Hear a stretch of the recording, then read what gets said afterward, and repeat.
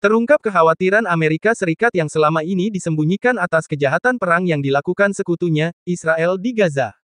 Presiden Joe Biden disebut takut dimusuhi oleh aliansi Arab karena Israel. Rintihan AS ini terbukti lewat tiga balasan email. Dana Stroul yang saat itu menjabat sebagai wakil asisten Menteri Pertahanan untuk Timur Tengah mengirim email kepada pembantu senior Joe Biden pada tanggal 13 Oktober.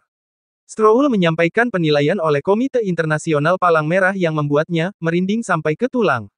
Reuters meninjau tiga set balasan email antara pejabat senior pemerintahan AS, tertanggal 11 hingga tanggal 14 Oktober tahun 2023, beberapa hari setelah krisis dimulai. Email yang ditinjau oleh Reuters menunjukkan upaya keras di dalam pemerintahan Biden untuk memperingatkan Gedung Putih tentang krisis yang akan datang. Selain itu penolakan awal Gedung Putih terhadap gencatan senjata di hari-hari awal perang yang penuh kekacauan. Adapun isi email tersebut mengungkapkan kekhawatiran sejak awal bahwa Pentagon dan Departemen Luar Negeri khawatir jumlah korban tewas yang meningkat di Gaza dapat melanggar hukum internasional dan membahayakan hubungan AS dengan negara-negara Arab. Pesan tersebut juga memberikan tekanan internal pada pemerintahan Biden untuk mengubah pesannya dari sekadar menunjukkan solidaritas dengan Israel menjadi mencakup simpati bagi warga Palestina dan perlunya mengizinkan lebih banyak bantuan kemanusiaan ke Gaza.